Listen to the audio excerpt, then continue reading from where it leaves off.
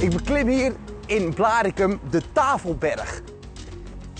In Nederland hebben we een Tafelberg, maar in Zuid-Afrika natuurlijk ook. En daar ga ik even lekker over praten. Zuid-Afrikaanse wijn van het wijnhuis Boekenhoutskloof.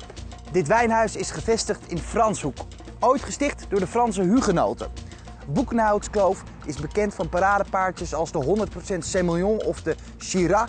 Maar dit is een basislijn die ze maken, de Wolf Trap. Gemaakt van Mourvèdre, Shiraz en Viognier. Die combinatie zien we ook veel in de Noord-Rhône. Heerlijk bij de barbecue of bij vol rood vlees. De Wolf Trap, echt een aanrader.